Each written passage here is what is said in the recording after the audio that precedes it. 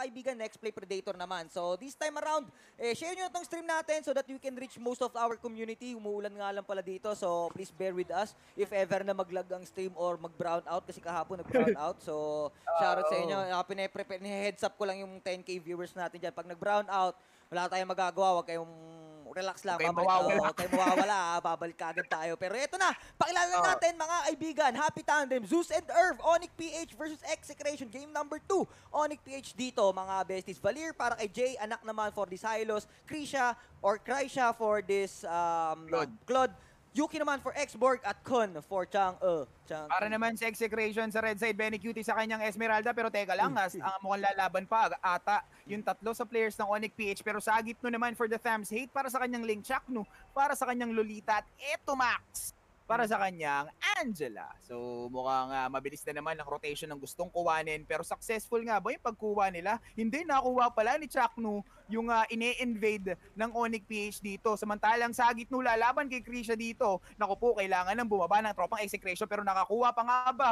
Yes, nakakuha ng red buff si Sagitno or si Mae dito at ah, lalaban pa nga din ah, pero medyo nasasaktan si Etomac dahil Angela siya dito pero papabagalin niya ang lahat ng pwedeng mangyari. May nangyayari ding invasion dun sa ano sa blue buff sir. Tignan natin yan mga kaibigan sa pagkuha ni Hate. Oo, halos lahat nakuha. Aha, grabe naman din mga kaibigan. For this ma fight, ladies and gents, medyo tansyahan muna din to. This time naman, eh, this is gonna be crucial for Onyx PH. Kailangan, mag, I mean, na kailangan mabigyan naman nila dito ng item si Claude knowing the fact na hindi siya naka-funnel, mga besties. So yun nga lang yan. sa bottom lane si Krisha, yan. mahuhuli yata. It's a three connections, pero mga pre, trying to disengage si Krisha. Oh, yun lang, sa Torre na lang. Tanggap na, wala na rin magagawa. And the first blood has been taken by uh, Tams. Buti lang si Tams nakakuha kaysa naman kay Hate, di ba? Siling, Pwede no? na yun, oo. pag siling yung nakakuha, dagdag Mm. na naman sa pera niya to. Pero eto si Jay. Level 2 lang yan. Pwedeng i-maximize na hit yan. Pagka lumabas yan, mga kaibigan. So, pwede siya magbigay ng Tempest of Blade to burst down Jay. Pero magiging problema, hindi niya na lang i-go-go. Samantalang, uh, eto Max ang nagki-clear ng mid lane. Para mag-level 4 agad, ma-maximize agad ng dalawang players or Esmeralda and Daling yung uh, kalakasan ng merong isang Angelang nakapatong sa mga balikat nila. Pero eto na nga mga kaibigan, papasok na si Oh. paring hit. Natansya pa dun ni paring Chakno dun. Mm. Ang isang Claude, so patay agad dito. Nakapitan pa ng isa, natulak ng bahagya ni paring Jay. Ang tropa ng execration, pero hindi, aalis na nga lang dito. 2-0 agad dyan Mhm. para sa execration. Yep, but for that early stage ng game kanila naman, knowing the fact that they have hit level 4 lang ang kailangan, pwede nang gumala-gala. Onyx PH naman this time around, eh, just like yung number 1, na-dominate sila ng uh, execution for this uh, early stage game. Pero ang inaabang ko dito pagka nagka-item na naman to si Kuya Krisha natin, eh may kalalagyan Yan, na naman ng Onyx PH. So, kailangan ma-future secure na nila agad yung item dito ni Kuya Claude for as early as Tama possible. dyan. Tama, tama yan, tama yan. Pero oops, lalaban na naman si Mae. Natulak ng bahagya. Pero Chris, level 3 lang yung dalawa. Pwede niyang patayin yan kung sakasakali. Pero eto na yung tropa ng Onyx PH. Pinaulanan. Meteor shower pero hindi tumama halos lahat anak for the baka pero hindi pa rin sapat yun. May nakuha pang objectives dito. Ang execration sa top lane. So grabe nga naman yung buy time na nangyari sa bottom lane. Hinabol nila pero hindi nila napatay. Mm, grabe mga bestie wap and this time around eh wala din naman. Hindi naman ganun kalayo yung gold eh. Ah, it's just 2 2.2.4k lang. Ito na. Ay, pala tinamaan yun. ng Human Blast yun ha, pero nag-iba ang camera dahil sa top lane ay may mamamatay pala. Yuki will go down in the hand by the hands of Kuya Hate natin. 2-0 na kanya standing Chakno dito napalaban na lang. Grabe! Oy, grabe din naman. There's a shield coming in kahit na ultihan ni Kuya Kun pero patay ka pa din. Ayun, burado. Ladies and gents, and that's gonna be the first kill of Onyx PH. Here comes Ling. Babanat lang Eto din na, mga kaibigan. Uy, alam niya na ano, alam niya mga walang ulti. Nako po, ayun, dali. Patay ata. Nakakapitan. Buhay pa din ang bata. Nako po. eh, Ano? tumagilid Mm. Tumagilid ang bangka dun sa may tubigan, mga kaibigan. Hindi pa rin napatay yung isa sa mga players pero bottom lane na nga lang daw ata ang gusto nilang kuwanin dito. Pero ang problema, binabantayan na ni Jayan kasi alam na nila yung nak- nakita na nila yung pagkakamali nila ng early stage eh. Mm. So ngayon, tutulungan na tutulungan na nila si Krisha. Pero ops, medyo masakit na level 9 laban sa level 5, ay level 4. 5 levels yung gap, sir. Grabe nga to ah. Laki nga ng ano na ito ah. Laki ng Ito na level naman nga si yan. Da- Kung ako dito, pati, ang pinakahanap-hanapin ko lang palagi yung Claude para talagang hindi na ano, hindi na tumaba pa, hindi na maulit yung ano, yung ah, nangyari sa ng game number 1. Pero syempre, mautak din naman yung Claude na yan. Iiwas at iiwas din yan hanggat wala pa siyang item. Relax lang kayo. Gagamitin ko lang yung ulti ko to clear out minion waves. Pero eto na nga, speaking of clearing out, si anak dito ang naging casualty kagad sa bottom lane. Tapos ayun, Oh, blast sa pool! Mga kaibigan, for that Kuya Kun with Chang In. Naku po, Yatapi Bowlers lang din. 1-5 ang ating score for our early 5-minute game time. 5k gold lead kaagad ang lamang ng execration. Kinasa ni Chakno, mga kaibigan, ang kanyang ultimate doon, tinamaan yung dalawa, and sakto pa, doon sa Tempest of Blades, kaya nabigyan ng damage agad yung mga players ng Onyx PH dito. Talaga namang pinapatunayan ng execration na teka lang. Nagkamali lang kami nung una, pwede namang ulitin eh. Tingnan natin kung makakapalag pa or pwede pang pumalag. Pero dito, mga kaibigan eh, hindi pa naman natin tinatanggal yung ah, pwedeng lakas na may ibigay ng Onyx PH katulad na ginawa nila kanina.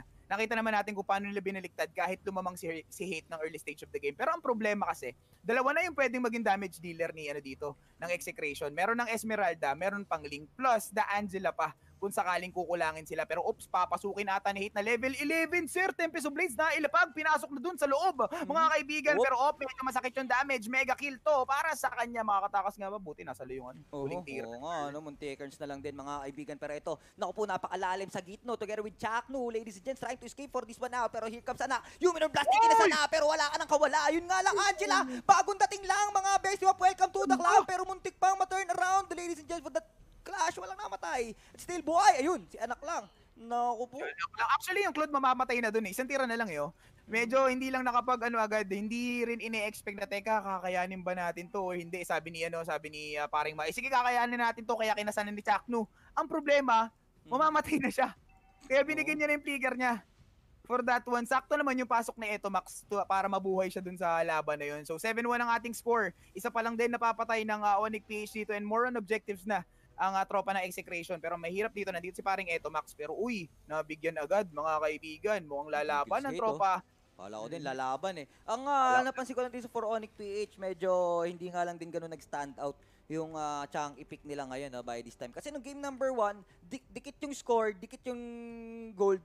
Talagang uh, nakikita natin na maganda. Palag. oh palag-palag yung ano palag-palag both teams. Pero this time ngayon naman game number 2 and layo ng gold Uy! lead mga kaibigan. Ayun pa si Krisha baka madadamay lang din. Yun nga lang walang pake sa Torre. Yep eto na si Hay trying to escape. Human Blast para kay Chakno yun nga lang wala nang tinamaan but the glorious pathway ulti lang din. Meteor Shower para kay Kun but I think it's too late. Ayun patay mga kaibigan si Sagitno. Oh. hmm pwede. Nabigyan na pala. ng death uy Sumampa sa kanya si Angela pero hindi niya nilang piniling lumaban kasi baka Oo. kasi maging error pa yun para sa kanila. I-secure na nila lahat ng mga bagay like the turtle dito. Lalabas na din kaya hindi niya ah, tinuloy yung pagkakataong yun. Pero si Etomac mukhang, mukhang mapapatay pa ata ng bahagya. So ah, turtle objective na lang daw ang tropa ng execration dito. Uy, Naku, Mhm. ay, hindi, hindi nila nakakuhanan. Pero si Hit dito, lumalaban sa apat na player, tatlong players dito ng uh, Onyx Fish na untog si Chakno ng bahagya doon. Nag-wiggle yung hero niya ng very, very light. So, tignan natin. Eh, ito ang ating score. 8 minutes pa lang yan, mga kaibigan. Malaki ang kalamangan plus the turtle buff na naman for the execration. So, item check tayo para kay Ling. Grabe yan 9k gold lead din ang meron na mga kaibigan ito si Ling 9 pala. Okay lang, di pa naman ganun ka, oh, di pa naman ganun ka sobrang laki. Two core items pa lang, pero yun nga lang, sa nakikita natin, pagdating sa map vision, ilang mga execration. Patience lang naman, ang papakita dito ng Onyx PH for sure, dahil hinihintay lang nila magka-item lang din to si Krisha. At ah, sooner or later, masakit na rin yan. But the problem here is 0-3 siya ngayon so far. Di pa niya na ma-maximize yung Bounty Hunter na spell na meron siya. Naupo. Tama ka dyan. So, tignan natin dito kung sino nga ba. Ma- Uy, pero Glorious Pathway, nailapag agad mga kaibigan. Samantalang top lane, meron pang naglalaban. Naku po, aalis na lang yung tropang execration kasi nakapagbitaw na ng uh, meteor shower dito. Ang isang siyang oh, pero uy, si Hit or ah, si ano dito, si Etomac, mamamatay na rin to ha. Medyo wala na masyado siyang buhay. Pero bottom lane, ah, may laban pa din. Oh, pinatay ng isang Esmeralda. Lakas na mong burst talaga ng isang. Esmeralda dito. Plus this one, ah, Tempest of Blades, nailapag ah, para sa kanila. Pero op, si Hate napakabilis ng kamay dito. Objective na lang daw. Pero wala silang minions. Paano makakapag-objective kung wala sila niyan? Hate, mukhang Oh, madadali pa nga dito, oh, Chuck. No, flicker out. Isang tira na lang yung Kasi tower. Naku po, ML na ML. Gusto mo basagin lang din. Pero sa bottom lane, ladies and gents, look at this one out. Benny Cutie doing some segue push. Middle lane, muntik na lang din, madasag. Pero well defended pa rin para sa Onyx PH. Hindi pa to ang katapusan ng simula, mga bestie wap ngayon pa lang. Pagka nagka-lord, pwede. Kung Oh, sakasakali. pwede pa. Oo, pwede. Tsaka Pwede ano pa eh, yan, pwede pa yan. ang laking tulong nung ano talaga nung meteor shower yung ulti ni Chang eh pang clear ng Sobra. ano pang clear ng ng wave ng ano ng ng minions Oo. di ba nang hindi mo na kailangan lapitan Yun, ah, isa din yun, isa din yun. Kumbaga, kahit siya na lang, okay na yun para sa Oo. kanya. So, pero dito, isang Esmeralda, kaya naman burst down yun, may Holy Crystal, Feather of Heaven, tapos Calamity Reaper. Mhm. So, uh, for the Cloud naman, Demon Hunter Sword pa lang ang kanyang nabubuo dito. Samantalang siyang, oh, ang pinakamalaking pera with the glowing wand and uh, for the upgraded jungle item. So, mukhang papasok na naman si Hit kasi nakapatong na naman sa kanya yung Angela. Inuna na agad si Krisha dito sa pagkakataong ito. Pero Hate dito, mabaibigyan ba? Hindi, pumasok pa si Benny Cutie para nga naman mabuhay. Yung isa nilang kakampi. Pero, ooh, tower lock na lang. Mhm. Naiwan si Tumak. Naiwan, sir. Iniwan ng eroplano. Binatuhan ng apoy pa nga rin dito. Pero Chakno, tamang bantay lang dun sa isang support nila samantalang sinisimula na ng execration itong Sanctuary Lord. Grabe, grabe mga kaibigan. 2-11 ang ating score. Look at this. Lord has been taken by Onyx PH. Hindi na nila hinintay pa na mag-enhance Lord. Wala nang enhance enhance Lord. Sa middle lane lang din naman pupunta. Pero pra- pra- pra- ang uh, kailangang problemahin na lang nila dito, i-pressure na lang din yung top at bottom lane. For sure, mahirapan Onyx PH. Knowing the fact na wala pa sila nakukuha ang Tore. ah, even the first towers against the execration. So, medyo pressure nga lang naman to. Kaya si Changi, kailangan gamitin niya yung kanyang meteor shower wisely. Kasi kung hindi... ayun, Sinasalo na nga oh. Sinasalo lang ni Chakno. Chakno. Oo. Pulag-pulag sir, pero ops, mukhang Jay mapapatay. Hindi nakapag-winter transition pa nga. Op, lalaban din naman. Tempest of Blaze na ilapag pero hinahabol niya si paring Krisha dito. Uy, nakapag-BMI out pero pumasok lang ang isang Angela dun kay Hate. Mukhang mag-o-objectives na lang ang tropa ng execration kasi papunta na ang kanilang six-man or the Sanctuary Lord dito sa middle lane. Natulak pa dun si Hate. Kailangan lumundag ng mataas kasi pag di siya lumundag, eh pwedeng ikamatay niya yun. So, eto na yung pag-clear. Mabilis lang to for the Onyx PH dahil meron silang ano eh. Meron silang chang eh. Oo, Mhm. grabe mga kaibigan. 2-11 ng ating score. Ito na, nabasag na ang third tower sa top lane. Execration is on the lead and Onyx PH, kapit lang sa cellphone. Kayang-kaya panlabanan niya ni Fever. Kapit lang kay Kaso nga lang, si Claude natin dito, 0-5. Ang problema, eh, hindi nga din siya masyado nag-scale up. Pero ito, anak dito, doing some cuts against the minion wave of execration. Nabasag na lang din. Ito na, naku po, ayun Oh. si Etomac. Grabe, ang unang casualty, mga pre. And uh, disengage na for execration. Relax lang, ang sakit ng meteor shower pag sinalo lahat. So, alisan Oh. muna for this execration. Grabe. Wag na ano, wag nang Hmm, ano, item. pagka napatay kasi si Etomac, magdadalawang isip si Hate kung papasok siya o hindi. Oo, no, tama, tama. Kasi si Etomac yung nagbibigay ng ano sa kanya eh, nagbibigay ng karapatan para pumasok. Oo. Kasi pwede siyang mamatay dito kasi pwede siyang masundot. Ang problema, pagka nabigyan niya ng Tempest of Blades at wala na siyang pang ah, counter sa lahat, tas natulak pa siya ni Jay. Ah. So, mahirapan nga naman siya. Habang tumatagal kasi, tumataas din yung tsansa ng Onyx PH na makakambak. Mm. So, tinatry na execration tapusin to agad as soon as possible. Pero eto na nga mga kaibigan, pinasok na with the Luminon Blast. Uy, naku po, Tempest of Blaze, nailapag na mga kaibigan. Pasok pa din dito sa loob ang isang Angela. Pero oops, eto na nga, si Benny Cutie. Para nga naman magbigay pa ng backup damage dito. Jay, papatayin! And tatlong players na lang ang natitira dito sa Onyx PH. So sa gitno, sinasalo lahat ng damage ng Torre. Ha. Medyo masakit yan. Objective na lang sa bottom lane. Yung top lane, okay na rin naman. At magta-tower lock pa dito ang isang ma-blazing duet to clear some creeps dito. Pero may natira pa at hindi pa na clear ang lahat. Mga kaibigan, hate. Naku po, grabe talaga yung damage na Yuki na lang ang natitira. Kinasahan pa para kay Chakno. Grabe, Ang dalawang kaibigan. buhay! Yun Pabang! kabang Dali. dali mga best and for that game number 2 will go to execration and ladies and gents we'll be having a game number 3 for this match grabe din